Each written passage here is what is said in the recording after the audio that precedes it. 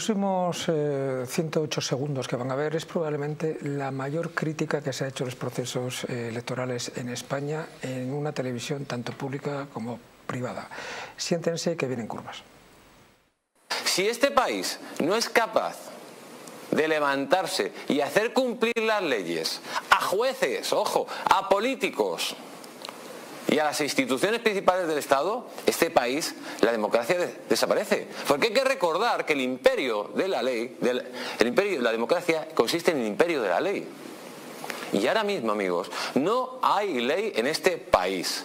Se pasan las normas, lo que dice la ley a la hora de recuento se lo pasan por el arco del triunfo. Lo que dice la Junta Electoral Central se lo pasan por el arco del triunfo. Y las juntas electorales provinciales ya por escrito ¿eh? con un descaro total, dicen que no van a cumplir la ley y van a tener en cuenta los datos que le ha mandado Marlaska por medio de Indra.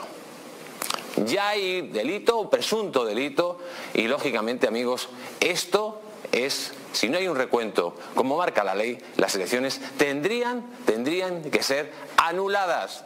Digan lo que digan todos estos que dicen que esto es muy seguro. Si no se cumple la ley, no hay seguridad jurídica, señores. Dicen, las elecciones en España son las más seguras de Europa. Sí, y España es un país muy seguro, pero hay violadores, hay asesinos, hay ladrones. Y claro que las elecciones en España pueden ser muy seguras, pero siempre que se cumplan las leyes, las leyes. Siempre que haya una custodia del voto por correo adecuada y no de lugar a las posibles eh, ideas de que se ha podido alterar o adulterar.